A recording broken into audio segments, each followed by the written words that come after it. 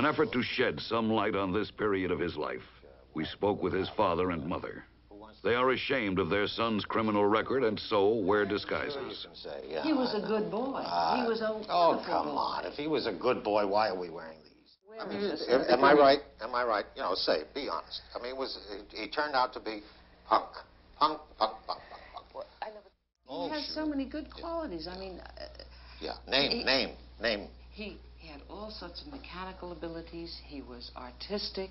He, do you remember the painting he did for you on your Artistic, birthday? No good do you remember? atheist is what he was. And- That's what he was. After all, what a child becomes Uh, is rotten. according to what his Uh, I- environment you is, know, what his I- background is. Let's I knew. face it. I, it was would, our would you let a man say a word or two?